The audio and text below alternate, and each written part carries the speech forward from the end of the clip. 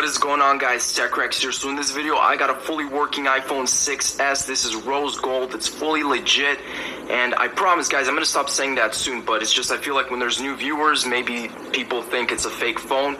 But I promise I, I really need to stop saying that the whole lecture on it's a brand new phone. I mean it's it's a fully working, it's 10 out of 10 condition.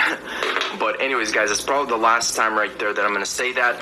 I got four fireworks. These are the ones that shoot into the sky. Purple, green, yellow, different colors. With the iPhone 5, I used two of these, wrapped it around, blew it up into little pieces. This time, I'm using four. I'm gonna make one giant fuse, and I'm gonna blow it up. So let's go ahead and see what happens.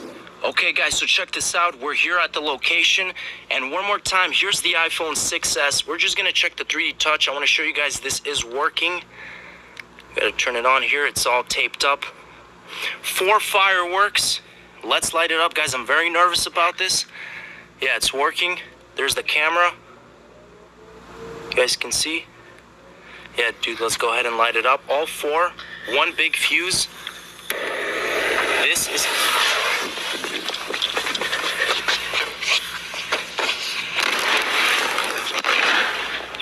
Goodness.